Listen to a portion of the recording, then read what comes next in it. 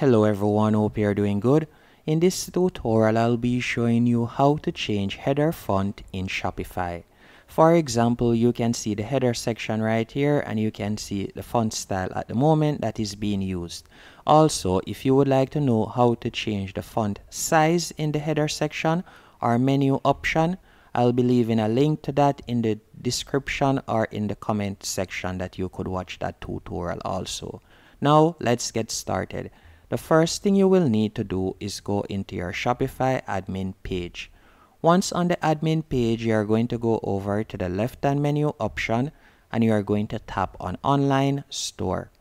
After selecting online store, you are going to automatically be redirected to the themes page. Once on the themes page, you are going to tap on customize. So you are going to tap on customize beside the theme that you are using and this is going to carry you to the editor page. Once on the editor page, as you can see right here, I want you to go over to the left hand menu option once more and you're going to tap on the settings cog that says theme settings. After doing that, you're going to select typography. So we're going to select typography. Then you're going to see headings and you'll see font. Then you can tap on change after tapping on change, you can see the different font options that you have. So for example, let's say I were to select this one, you can see the effect right there that the font has now changed. And if I were to select another font, for example, this one right here, by tapping on it, you will see that the font style has changed once more as you can see right there. And you can scroll down and you can see that there are numerous fonts that you can choose from.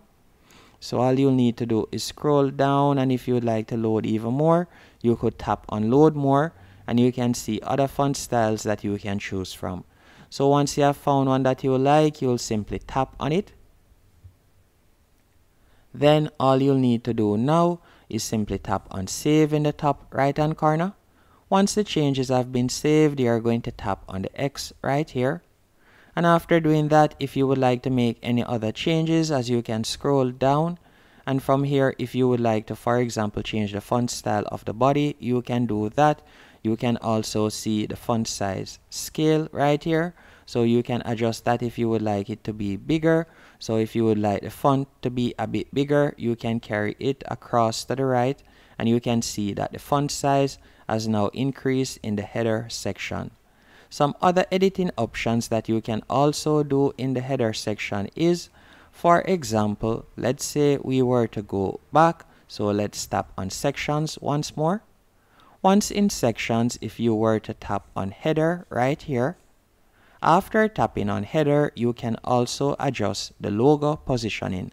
So you could tap right where you see top center on my screen so for example, if you would like to position the logo to the top left, you can do that. Or if you would like it to be middle center, you can also position it right there. You can also change the menu option by tapping on change right here. Or you could remove the menu if you have more than one menu. You can also change the menu style.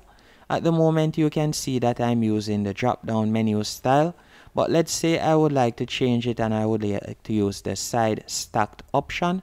All I'll need to do is simply tap on draw and you can see it right there. So from now on, visitors to my website would have to tap on the three dashes in the top left hand corner to access the menu. And if you would like to use a sticky header, you will simply scroll down right where you see sticky header, you would tap right there. And if you would like it to always be you could tap on always. So the header section will always be visible as you can see right there. Or if you would like it to only be available on scroll up you could select on scroll up. So once scrolling up you will see the header section. And you can always reduce logo size. You could select that if you want. Another option that you could also do you could remove the black line if you want so all you need to do is tap right where you see show separator line. You would simply untick that if you would like to remove it. You can also change the text color of the header section. All you'll need to do is go right where you see color scheme. Then tap on edit. After you have tapped on edit, you could select text.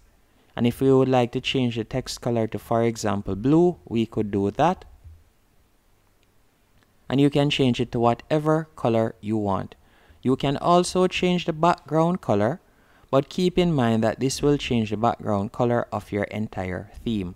So for example, if we were to select red as our background, you can see that it changes the background color for the entire theme instead of just the header section only. I will also be looking into a video on how to change the background color of the header section only in the future. And once you're finished with all of your editing, all you'll simply do is tap on the X right there. If in the future you'd like to add a country or region selector, you can simply tap right here to enable it so once persons visit your website from other countries, they'll be able to choose their country right there.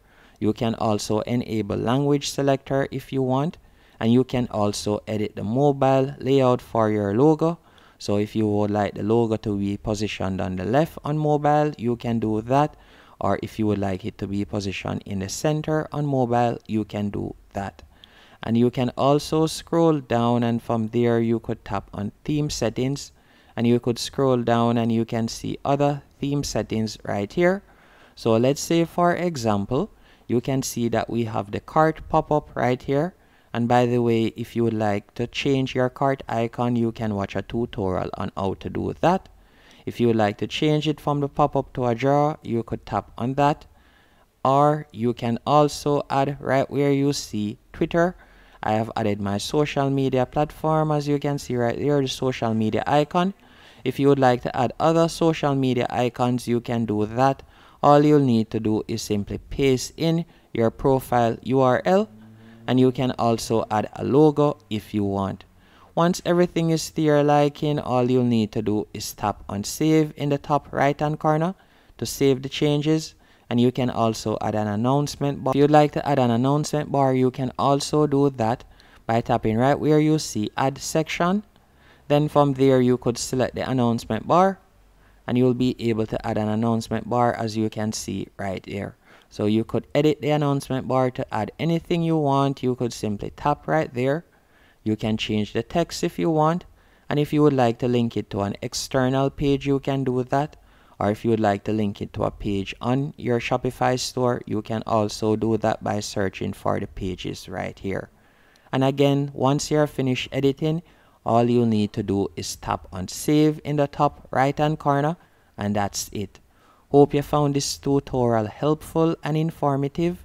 If you did, be sure to hit the like button and subscribe and thank you for watching.